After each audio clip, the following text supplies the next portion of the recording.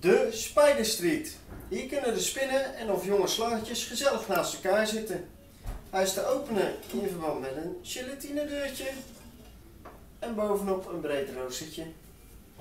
De Spider Street.